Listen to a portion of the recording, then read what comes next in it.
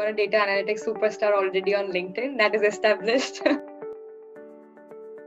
I just grew up being very, uh, very statistically oriented. I always, uh, you know, I played baseball, but I was more interested in like keeping score and, and knowing the statistics that were going on. And um, uh, so I went to Ohio U. One class, it just just captured my attention. That was product and operations management.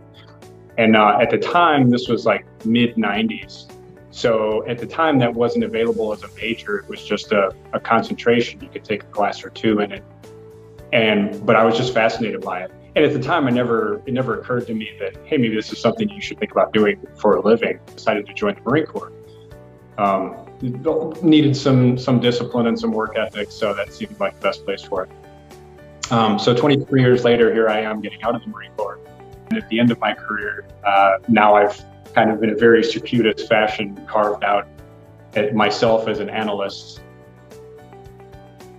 I would say just um, just, just start small and and start. Obviously, everyone when you get on a social media platform, it it immediately suggests would you like your friends and family to be your first round of contacts. So everybody starts with a few. Um, and then LinkedIn is nice enough to just extend that out to your second degree connections. So you start seeing, well, who do these people know? Who does my Uncle Steve know? he knows 10 people. And you start connecting with those people and say, hey, we both know Uncle Steve.